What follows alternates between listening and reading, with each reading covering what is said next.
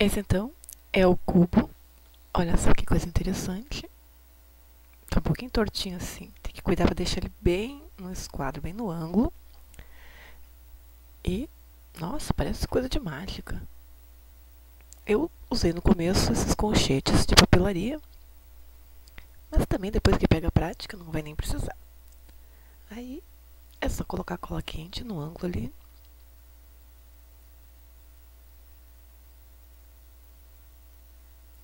é, ficou um pouquinho fora ali, mas é todos eles no mesmo ângulo de 90 graus.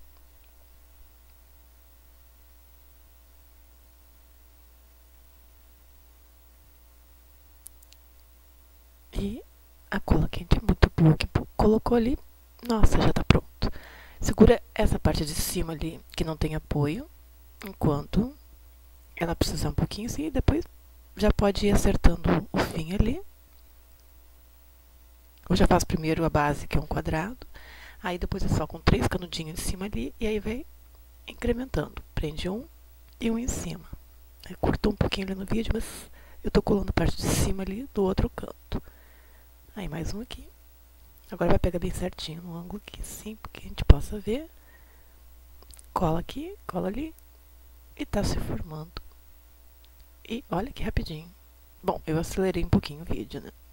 Senão também, pessoal, tira o cochilo aqui, não vamos dormir. E vamos lá, mais um pinguinho de cola aqui.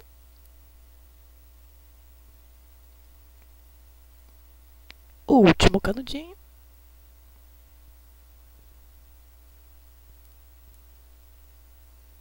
E deu. Agora a gente tira aqueles fiozinhos que parece uma teia de aranha. E ficou isso. Bacana?